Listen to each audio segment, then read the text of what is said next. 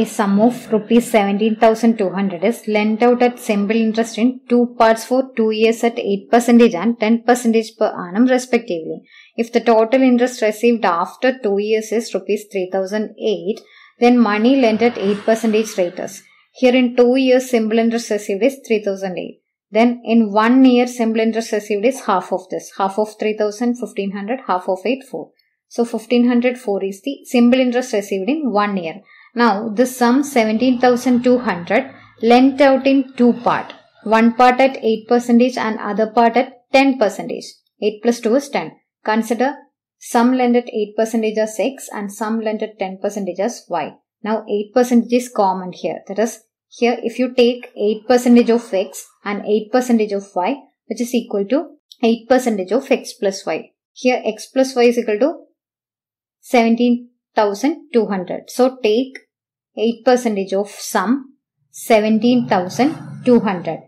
Double zero and percentage cancel 8 into 172. 8 into 2 16. 8 into 7 56 plus 1 57. 8 into 1 plus 5 13. So if you subtract this 1376 from 1504 which is equal to 2 percentage of y. That is here this 1504 is 8 percentage of x plus 8 percentage of y plus 2 percentage of y.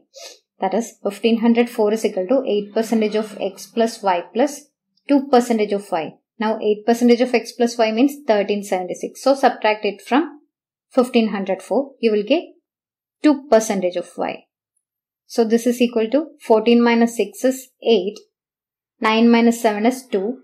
14 minus 13 is 1. So 2 percentage of y is equal to 128 means here 2 percentage is 128 means 1 percentage is 64. Then 100 percentage of y is equal to y which is equal to 6400. Then we need x here. x is equal to difference between 17,200 and 6400.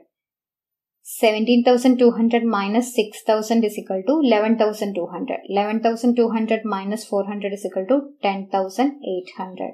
So here sum lent at 8 percentage is equal to x which is 10,800 option 4 is your answer.